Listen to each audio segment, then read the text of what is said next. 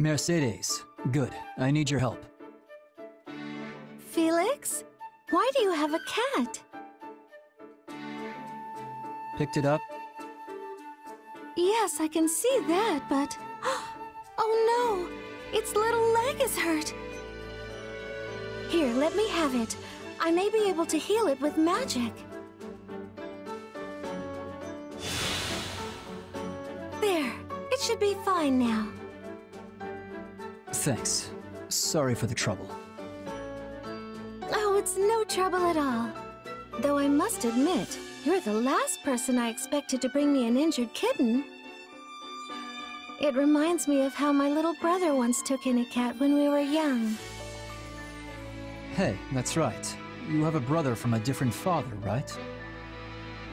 Yes. This was a long time ago, when we both still lived with House Bartels.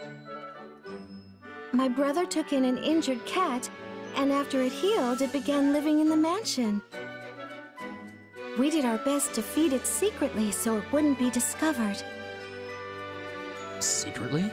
What's the big deal with one little furball? We couldn't let anyone find out no matter what. The people in that house were horrid. Had they learned of the cat, they would have put it in a sack and tossed it in the river. Eventually, my mother and I left House Bartels and never looked back, though we left my brother behind.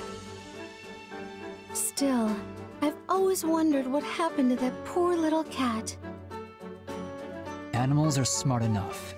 If the thing felt threatened, it would have taken off. I suppose you're right. Uh, anyway, now that you've fixed the cat, I should bring it back to where I found it. Are you sure? It's clearly taken a shine to you. Yeah, but I can't keep it. The thing's practically a kitten. What if it has parents that, I don't know, miss it? Yes, I suppose returning it would be best. All right, go. Shoo! Come on, get out of here already. Stop rubbing my legs. What is it? You want food? Well, I don't have any. Ah, that cat really likes him. Animals clearly understand when a kind soul comes to their aid. Mercedes, do something. This cat won't stop following me. I'm sorry, but there isn't anything I can do. You'll have to wait until it feels like going home. Uh, Goodness, really? Having a cat like you is a good thing. I'm not sure it is. Well, so long as you're stuck waiting, we may as well get comfortable and have a nice chat.